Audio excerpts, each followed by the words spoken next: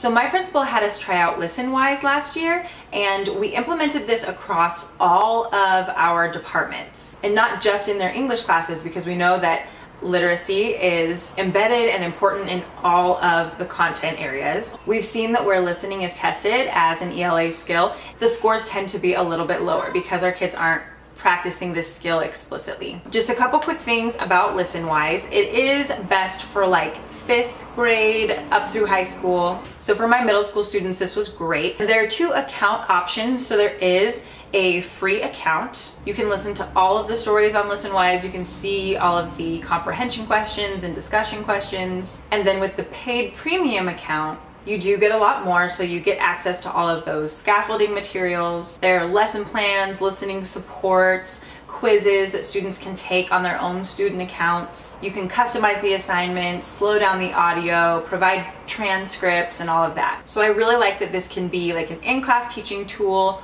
or an extension activity or something that you use as sort of like a flipped classroom activity where they do this ahead of time before coming to class and then you have your discussion in class with everybody. I'm thinking I would kind of like them to listen to it at home because then if there are students who want to listen to it a couple of times, they can do that. And if other students don't need to, they can just listen to it once, but then we can come to class the next day with all of us understanding the material.